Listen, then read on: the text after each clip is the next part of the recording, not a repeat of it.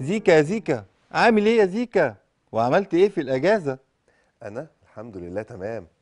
والأجازة كانت حلوة جدا. ده أنا تعبت كتير جدا ونمت أكتر وكنت فرحان علشان مش بذاكر.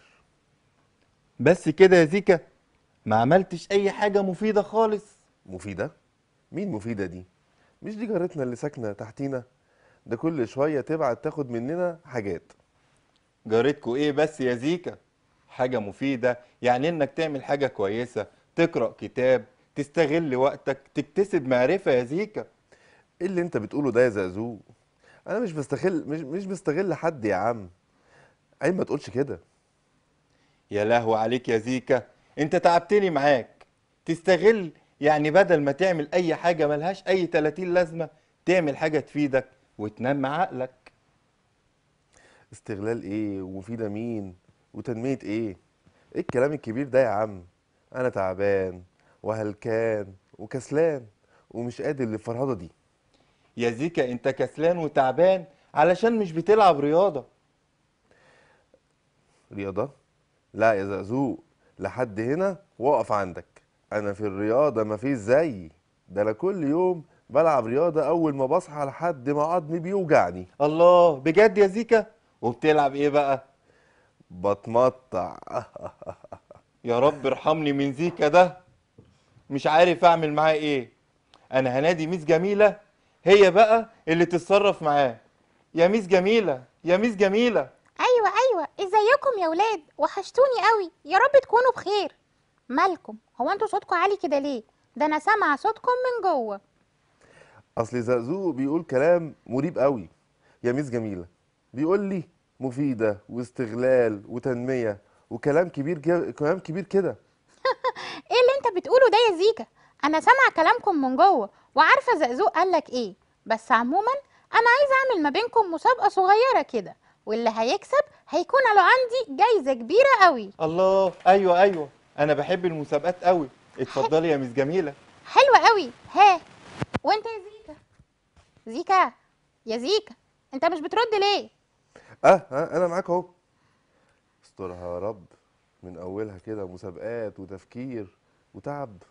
حلو قوي يا ولاد. يلا نبدأ. أنا عايزة كل واحد فيكم يدخل لي كلمة الكسل في جملة مفيدة. دي غير طنط مفيدة جارتنا؟ غيرها خالص يا زيكا. طنط مفيدة مين بس؟ أنا عرفتها. الكسل ضد النجاح. الكسل ضد النجاح؟ بص بقى يا زقزوق وتعلم من أخوك. أنا عايزك بقى أنا عايزكم كلكم تسقفوا لي سقفة كبيرة قوي. ليه؟ لأن أنا عارف الإجابة. الكسل زي العسل والعسل هو الكسل. وشاطر ياد يا زيكا شاطر ياد يا زيكا. إيه ده إيه ده إيه ده؟ إيه يا زيكا اللي أنت بتقوله ده؟ لا يا ابني الكسل يعني الفشل. الكسل يعني كل الناس بتتحرك وبتنجح وأنت قاعد مكانك. قاعد تتفرج عليهم وبس. ده حتى رسولنا الكريم عليه الصلاة عليه والسلام. والسلام. بيستعيذ بالله من الكسل. عشان كده أنا بشكر جدا زقزوق عشان جاوب صح. لأن الكسل فعلا عكس النجاح. وعشان كده هو ليه جايزة كبيرة قوي عندي زي ما وعدتكم. شكرا لحضرتك يا ميس جميلة. أنتوا فعلا صح. وعندكم حق. أنا لازم أبطل كسل وأذاكر وأنجح. شكرا لحضرتك يا مس جميلة. العفو يا حبايبي. يا رب تكونوا فهمتوا يعني إيه كسل وعرفتوا إن الكسل عكس النجاح. الحمد لله.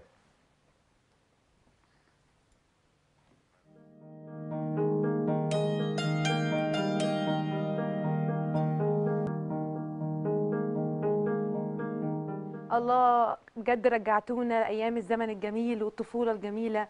وذكرياتنا مع العرايس الجميلة مين فينا ما يعرفش بوجي وطمطم وبقلز وماما نجوى؟ بجد فعلا أيام ما تتنسيش وعرايس فعلا جميلة جدا.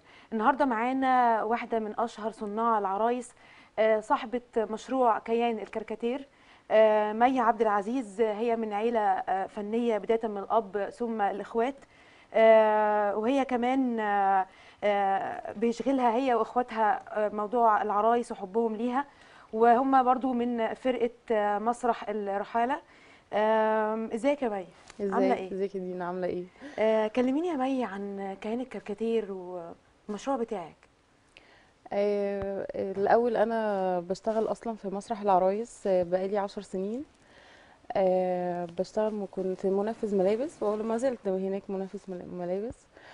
آه، بس طبعا بحب العرايس بجميع أشكالها يعني و- والموضوع فعلا شاغلني جدا وحبيت أطور نفسي فيه وتعلمت كل شوية بتعلم حاجة لحد ما ما خدت كورس نحت وبقيت بنحت دلوقتي.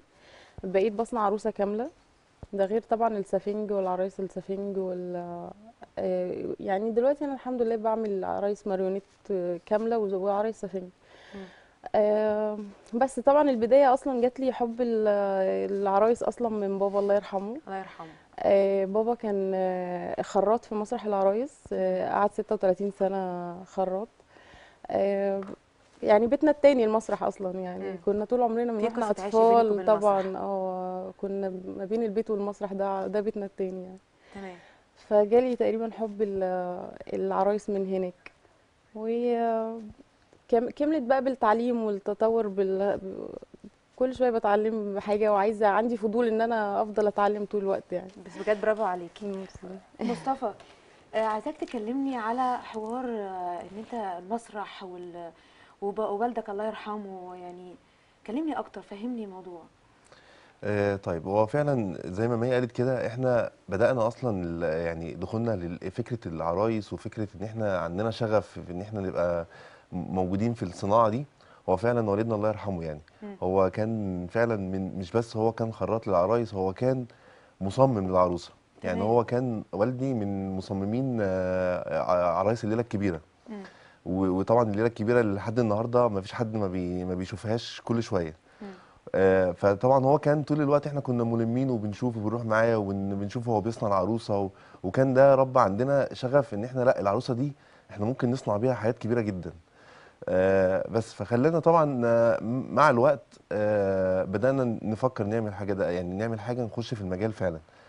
وطبعا ما فكرناش إحنا نخش عن طريق مسرح عرايس يعني عايزين نعمل حاجة. لشخصنا إحنا وإحنا اللي يبقى إحنا اللي مبتكرينها من أولها. تمام. فطبعا كنت أنا ومحمود من تقريبا من 13 سنة آه بدأنا نخش في في المجال ده. وبدأنا نعمل حتى نجيب عرايس كده ممكن نجيب دبدوب عادي ونبدأ نتكلم بيه نبدأ نعمل بيه حلو آه, قوي بجد. آه نبدأ نشوف فكرة نوصلها. جميل بس والموضوع طبعا تطور بأن إحنا لأ هو مش بس فكرة إن أنا آه، مجرد طيب. سكتش محمود آه، إيه رأيك في في موضوع ال- العروسة مثلا مع مي بتاخد منها وقت قد إيه؟ إيه رأيك في شغلها في مواعيدها في التسليم؟ بس بأمانة يعني مش آه عشان كده بقى بقى انت جيتي لي في ملعبي. مش عايزين مجاملة. هي كده. هي بص هي جات لي الراجل ال- يعني المناسب في السؤال أنا المناسب. متأكدة من الإجابة. لا ما هي بتعذبني.